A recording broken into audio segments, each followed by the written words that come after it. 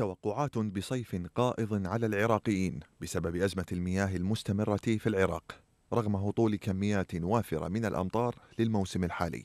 فغياب التخطيط الحكومي يأتي في مقدمة أسباب استمرار أزمة شح المياه مع احتمال تجدد المظاهرات التي اندلعت في تموز الماضي وسط وجنوبي العراق. ورغم أن مخزون المياه في البلاد للعام الحالي قدر بنحو 42 مليار متر مكعب أي ما يعادل ضعف مستويات المياه في العام الماضي الذي اتسم بالجفاف.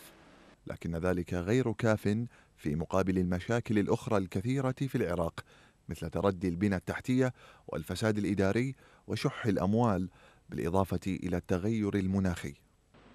أغلب محطات الضخ تعاني من الإهمال مثل محطة ضخ المشاهدة شمالي بغداد. حالها في ذلك كحال جزء من شبكة المياه التي أنشئت قبل الست عقود من الزمن في تربة مسببة للتآكل بفعل الرطوبة وهو ما أدى إلى تسرب ما بين 60 إلى 70% من المياه قبل أن تصل إلى المنازل أو الأراضي الزراعية. ومنذ بداية الحرب على تنظيم الدولة في 2014 إلى يومنا هذا لم تبني الجهات الحكومية أي محطة جديدة للمياه باستثناء المحطة التي تروم منظمة الأمم المتحدة للطفولة يونيسيف إنشاءها في العراق.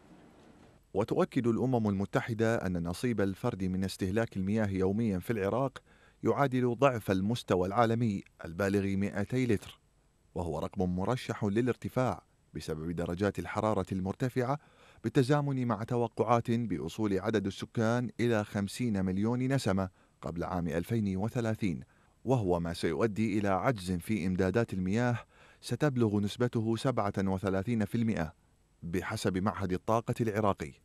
ووفقا للبنك الدولي فإن العراق مقبل على مزيد من حالات الجفاف الشديد بدءا من العام 2020 أي ما يعني مزيدا من المعاناة للعراقيين.